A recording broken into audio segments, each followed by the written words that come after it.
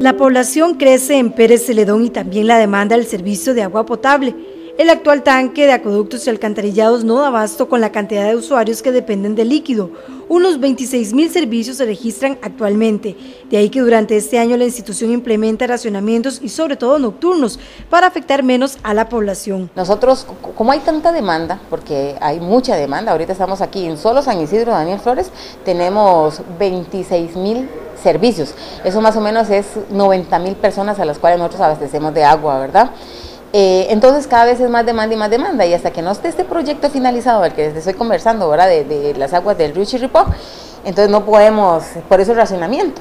Y este bombeo de San Andrés ya queda pequeño para poder impulsar el agua a los tanques de la universidad, que también es un tanque principal de aquí del sistema de, San Isidro. Los tanques prácticamente no se llenan. Eh, o sea que el consumo es tanto que el agua como entra, sale, como entra, sale. ¿verdad? Entonces estamos eh, en conjunto con agua potable, ¿verdad? Eh, para hacer un, comprar una bomba más grande, un panel más grande, o sea, ese equipo de bombeo se va a modificar el 100%.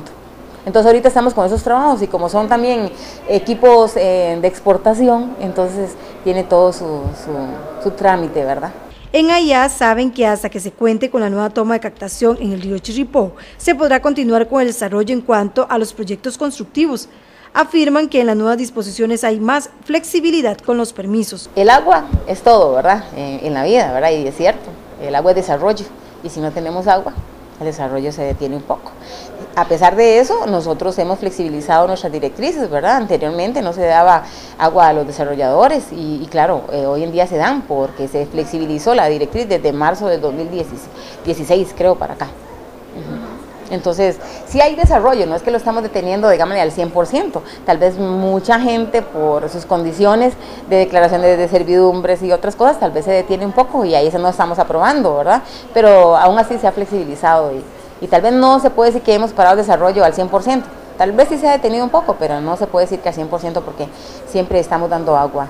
Eh, al crecimiento vegetativo no se le niega, ¿verdad? Mientras existan tubo al frente de la propiedad y a los desarrolladores mientras presenten su, la urbanización como tiene.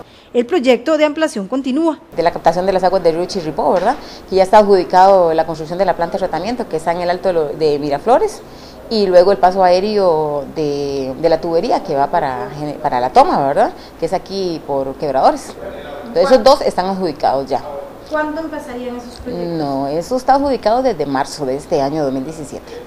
Eh, la empresa en la construcción de la planta sí, sí ha empezado. Ahorita no sé si está continuando por cuestiones ahí, ¿verdad? Tal vez de algunos eh, cuestiones ya técnicos o legales, ¿verdad? Que han tenido que tal vez detenerse un poquito, pero ya está adjudicado desde marzo. En la institución esperan pronto contar con este proyecto y así evitar restricciones.